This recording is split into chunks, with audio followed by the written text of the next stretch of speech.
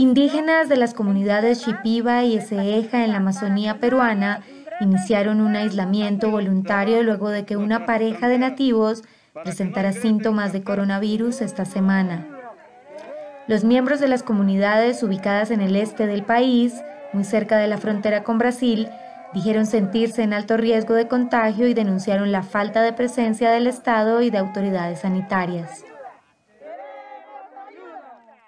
Por esa razón, los líderes de esas comunidades han celebrado varias reuniones para implementar medidas que contengan la propagación del virus que en el Perú afecta a 14.420 personas y ha causado la muerte a otras 348. Los indígenas esperan que a los más de 300 miembros de sus comunidades se les realicen las pruebas para detectar el virus.